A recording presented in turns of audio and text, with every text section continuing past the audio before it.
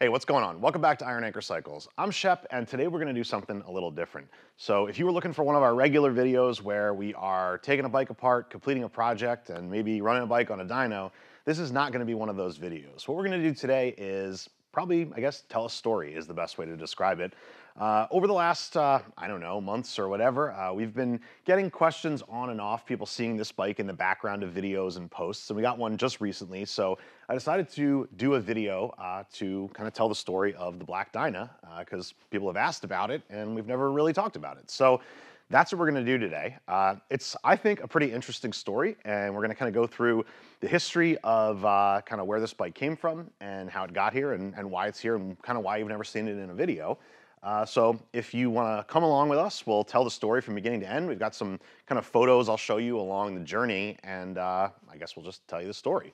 So before we get into the history and kind of where uh, the bike started, we can talk a little bit about kind of the bike as it sits now and, you know, uh, what, what we're looking at. So uh, this is, well, not uh, always patently obvious to the average onlooker, this is a 2005 Superglide. Now, people ask, uh, is it a DX? People ask, is it a Street Bob? People ask, I don't know.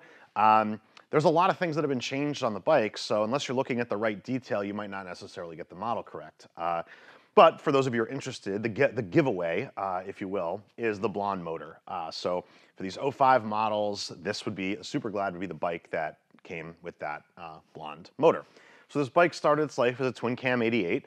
Um, and just about everything on this bike has been changed. So it is not necessarily the fanciest bike in the world, uh, but this is one of my absolute favorite bikes, and this is my personal bike, and in fact, this is the first Harley I ever owned. So that's why the story to me is an interesting one, is that this is really sort of what started everything for me in terms of the world of Harley Davidson and brought me to working at Harley Davidson in Milwaukee and brought me to opening Iron Anchor Cycles and being here with all of you today. So uh, it's a special one, and for that reason, uh, I kind of joked, it's the last bike I'd ever sell. There's really no reason to ever let go of this bike, and you know, if you're lucky enough to get your hands on your first bike, and I did let it go for a while and bought it back, uh, you're unlikely to, to, get it again, in my opinion. It sort of goes out into the ether, and then it's gone forever, and you can you can never you can never find it, and you wind up you know searching for it. So uh, anyway, enough of a little tangent there. Uh, back to sort of what we're looking at here. So started its life 05 Superglide uh, Twin Cam 88. Um, what you're looking at now is obviously a lot of different things. The motor has some work done to it. Uh, we'll get into what we did on the motor, but it is no longer an 88. Uh, the bike started its life as blue and is now black. Uh, the rear fender is the original fender. We just painted it black. The tank uh, needed to be replaced because it was damaged, and so we got this black Street Bob tank, one of the things that throws people off about the model. Um, and then the front end, obviously, hopefully it's in the camera angle here. It's been converted to dual disc. It's got the uh, the CVO uh, touring Brembo calipers on it. Another thing that sort of throws people off, dual disc, single disc, whatever.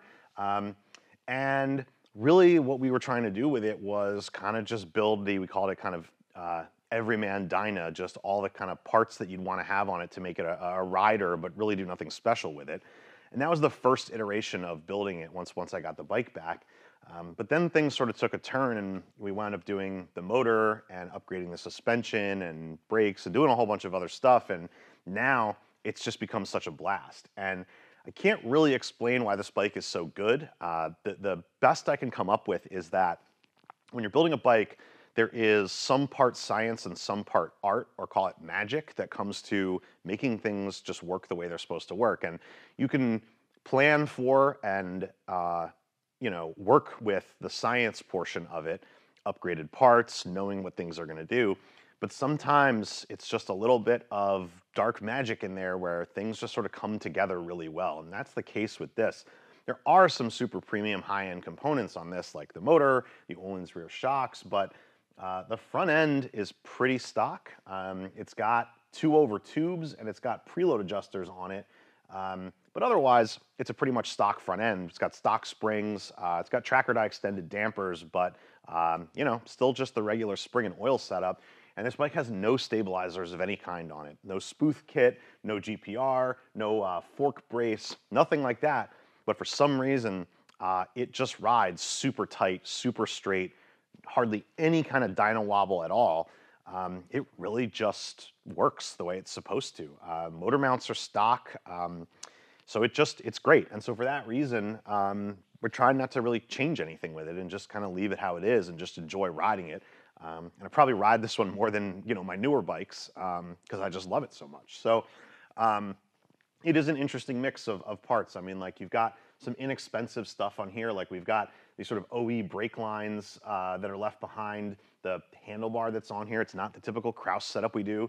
It's just a Biltwell T-bar that's, you know, I don't know what the price on them now is, but I think when we did it, it was probably 150 bucks or something like that. So we weren't trying to break the bank. We're just trying to build a cool black Dyna. Um, obviously a little different with the, the blonde motor, but um, while something, when I bought the bike, I didn't know enough about Harleys to realize I was buying a bike with a blonde motor and I wasn't gonna like it. But after all these years, really what's happened is this has become one of the defining characteristics of this bike and people recognize it because it's the black Dyna with the chrome covers and the, the blonde motor.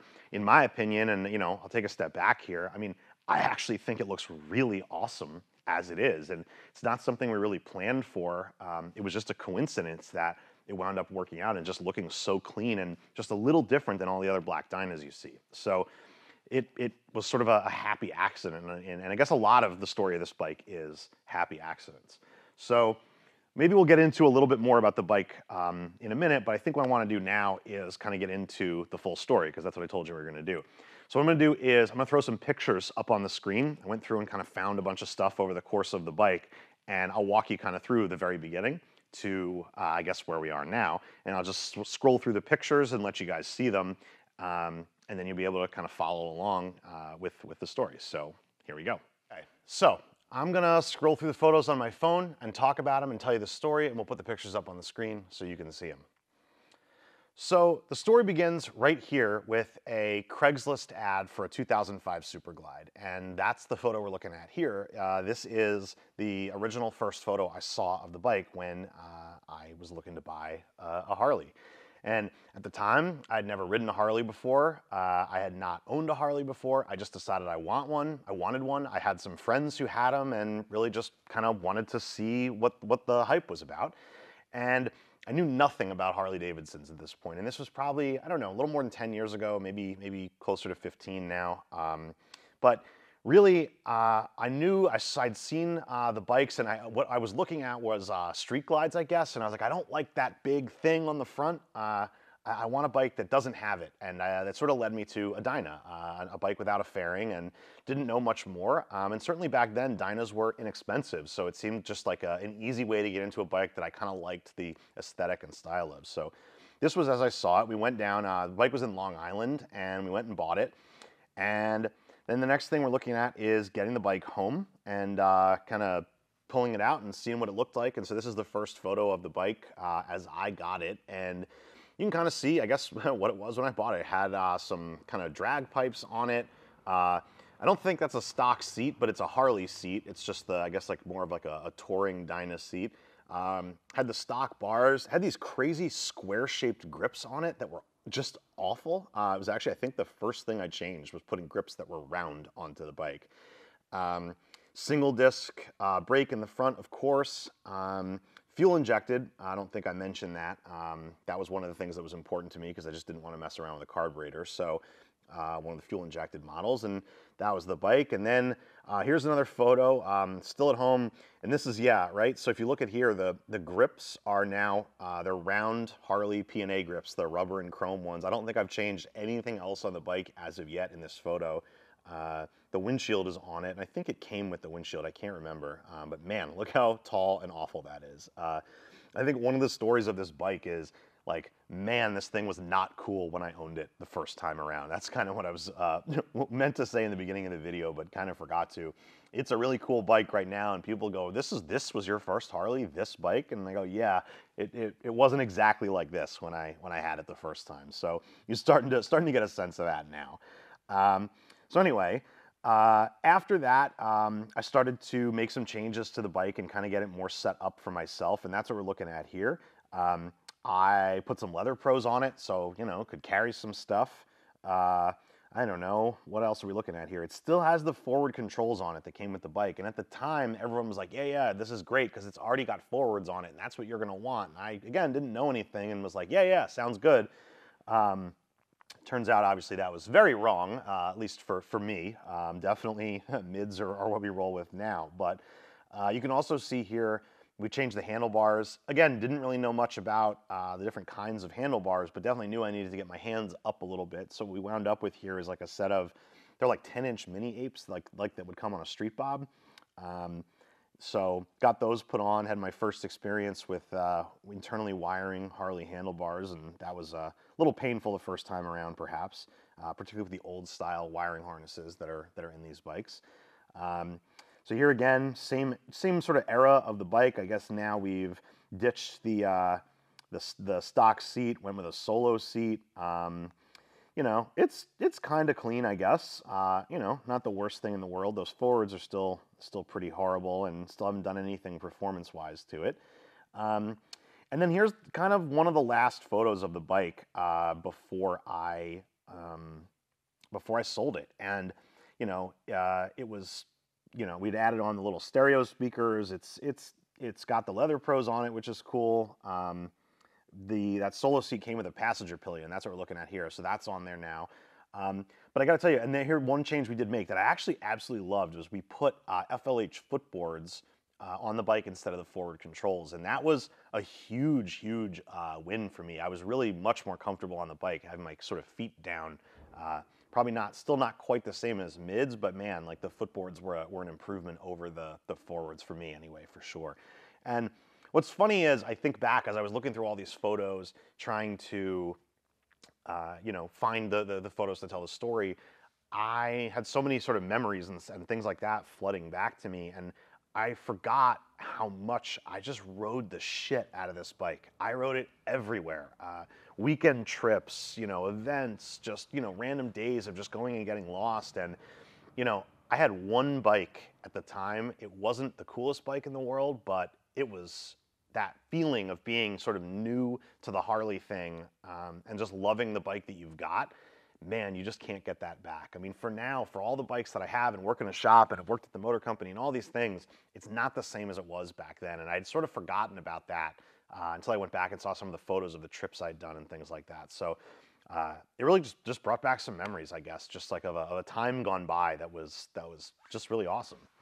Um, anyway, so at this point, I am, you know, have, I've had the bike for a couple of years and basically decided I wanted to upgrade. And kind of, if you can see from this last photo, what I was trying to do here was essentially I was trying to build myself a bagger. Um, I didn't know it at the time, but that's kind of what it was. I think friends of mine had, you know, baggers, road kings, you know, heritage, Softails, obviously street glides, things like that, road glides. Uh, and I was always, you know, struggling to, you know, carry shit and pack for trips and do whatever. And at the time I was like, yeah, bagger, that's what I got to do. So I mean, I've had this bike for a while. I'm going to go to the dealership and I'm going to trade it in. And that's what I did. And I traded the bike in for uh, a Street Glide. And uh, the Dyna was sort of gone, I guess, at that point. Except the truth is, it wasn't really gone. And that's kind of where the story continues, which is while I was off doing what I was doing, buying other bikes and, you know, learning more and, you know, moving my career into, into Harley Davidson type things and wound up uh, leaving New York, leaving my job at BMW North America, moving to uh, Milwaukee, going to work for the motor company out there. All these things are happening uh, on, in, on my end of, of life. What was happening with the, the Dyna, the blue Dyna, I guess, that was its name back then, not the black Dyna, um, uh, it was not traveling too far from home for me. So what happened was uh, a friend of mine bought my bike from the dealership, uh, sort of in a very similar scenario that I was in, that he was new to the Harley thing, and this was his going to be his first Harley. So he bought the bike and learned how to ride on it. And he had it for a couple of years and wound up selling the bike to another friend of mine who also learned how to ride on it and had it for a couple of years. And by this point, I was I had drank the Kool-Aid and was 100% uh, you know sucked in by Harley Davidson and owned a bunch of bikes and knew that I wanted my Dyna back at this point. And so what I said to him was, whenever it is you're ready to sell the bike, whether it's an upgrade or whether you decide you don't want it anymore, or whatever it is, I'm your buyer. We worked out a price, and I said, whenever you're ready to sell, I've got the cash. I'm ready at a moment's notice. Do not sell it to anybody else. Don't think about doing anything else. I want this bike back. Because I figured after two times changing hands, there was no way I was going to keep track of this bike if it went to another owner after that. So um, I, I, just sort of staked my claim. And as it happened, we were uh, all in Lake George, back at the dealership that I had originally traded the bike into. And he was we were there together and he saw a road king that he had his eye on and said you know i want to buy this bike and i want to get rid of the dyna. And i said i told you i'm your guy. Uh, so i said look here's what we're going to do. Uh, you want to buy this road king today? Sounds great. I'm going to pay your down payment for you on the bike for the amount that we agreed that i'd pay for the dyna and we get home you're to sign the title over to me so we went back to uh, back down to new york where we are now i was living in milwaukee but was home visiting and I said, got the title, everything was good, arranged shipping, and had the bike sent out to me in Milwaukee, where I was living at the time while I was working for Harley. And at this point, I guess I think, at least for me, is where the story gets interesting. So let's look at some more photos and we'll kind of pick up right there. So I got the bike back and here it is. Now, to the untrained eye, uh, it may look very similar uh, to what it looked like when I, where we last left it, but there are some things that uh, you might not see in the photo or might not be able to be seen in the photo. Number one, first thing that jumps out, the tank, while a similar color, is not the same tank and it's the wrong color. The tank uh, had been in a little minor accident. Just about everybody who owned this bike learning to ride on it dropped it, smacked it into something. Uh, it really lived a hard life. So the tank got dented and was replaced with this one. And I actually have, it's probably not in the shot here, but I have the original tank with the dent in it sitting on my shelf as a little souvenir. Um, but this tank had been put on it. The handlebars I put on are still on there. Everything else is very similar. The footboards are now gone and back to forward controls that somebody changed along the way. Um, but otherwise, it's pretty similar to how it was. What you can't see is what bad shape the bike is in. Uh, the front end is bent a little bit uh, from, I don't know, smacking into a tree or a stop sign or something. Uh, the motor is covered in just stains and oil, and the bike had been sitting outside. It really lived a, a, a little bit of a hard life after I let it go. So we brought it back into the garage uh, at my house in Milwaukee and decided uh, this is not the bike that I want it to be. We are going to build kind of the you know club style Dyna and make it just a cool, easy, nothing major. Just take it down to the frame.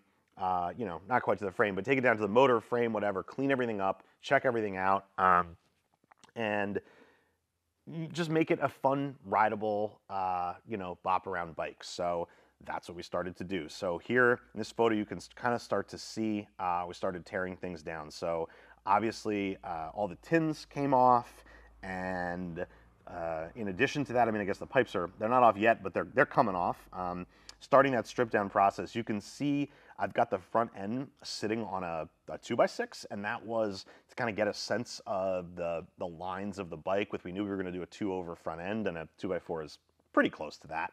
Uh, so that was just an idea of kind of seeing how it would sit so we could kind of pick uh, height for the rear shocks uh, to give the line that I was looking for. Moving to this, the other side of the bike, um, pretty much sitting in the same position, uh, just sort of getting ready uh, to, to tear into everything else. There's some cleaning that was getting done at this stage, um, but really just trying to start from a, a, blank canvas. Now, as we move along a little bit, you can see we've got the new uh, Street Bob tank sitting on there. We've got the handlebars put on. I think they're probably, a, uh, they're, they're wired up at this point, so I guess they're on there. Um, mid controls are back on it now in this photo. I'm not sure if they were in the previous one or not, but uh, we've also got the shocks put on there and just that kind of stock Harley seat just sitting there to kind of see how everything looks and starting to see how the bike comes together. Um, move on to another one, and this is kind of a funny photo because the the front wheel and tire that's on there is my is off my Sportster. And you can see the front wheel for the Dyna is sitting in the background. They're going to go get powder coated in black, so I wanted to have a front wheel on the bike to kind of see how everything was looking. So we just put the Sportster wheel on it uh, while the other wheels were going to get sent out. So now you can kind of see things sort of moving along with uh, the uh, front dual disc front end is on there now, all powder coated in black. We've got you know other little things starting to come together. Now, you know, move on one step forward. We've finally got those uh, those awful pipes off of there. Uh, just about ready to kind of start finalizing it. We've got the new tins on, the rear fender back from paint, um, everything's sort of starting to come together. And obviously now we've got the powder coated wheels on there. Still haven't done any upgrades in terms of the rotors and calipers. It's all kind of stock stuff. But again, at the time, it wasn't really about trying to build a performance bike per se. It was just trying to build a bike that was going to be fun to ride. So here now, uh, we kind of rolled it outside. This is right after we were done putting it together. So it's got everything on it that it was going to have in that first stage. And we did that uh, Bassani Road Rage 3 pipe. I mean, the bike looks great. It was fun. It was still a stock, you know, twin cam 88 with just a pipe and an air cleaner on it, stock brakes. Obviously, it was dual disc now, but uh, stock suspension, just some inexpensive progressive 490 rear shocks on the back, stock suspension in the front. So this is this is what I was trying to build at the time, and I wasn't trying to spend a lot of money, and I didn't spend a lot of money. Bought a lot of used stuff, you know, the tank, the fender, and you see it even now. Like none of the paint is super great on this bike, but it doesn't have to be. It's just meant to be a a good, solid, clean Harley. So this is where uh, the project remained for a little while, and I will flip over, you know, if you look at the next photo, I rode the shit out of this bike again. I mean, even though I had, you know, Milwaukee 8, uh, you know, baggers and things like that, uh, I just loved the Dyna. And, you know, I parked it here. This is out front at Harley uh, in Milwaukee, Juneau Avenue. I'm not sure why I'm the only one there on this particular day, but maybe it was cold. I don't know. Um, but I just loved this Dyna, and, and it was it was just such a treat. So that sort of was the end of that first phase, and uh, that's that's where it stayed for a little while. Well, nothing can stay the way it is forever with with me with a Harley, and I did get the itch to want to do more, and that really uh, brings me to the next chapter, which is when I started uh, developing my relationship with uh, the guys and gals at HPI in Indy. And this is while I was working with Harley. I got to know Jimmy really well. And uh, we've been working on some projects and a bunch of things together. And one day I called Jimmy up and said, Hey, so I've got this black 05 Dyna. We got to do something with it. I need a, I need an HPI motor.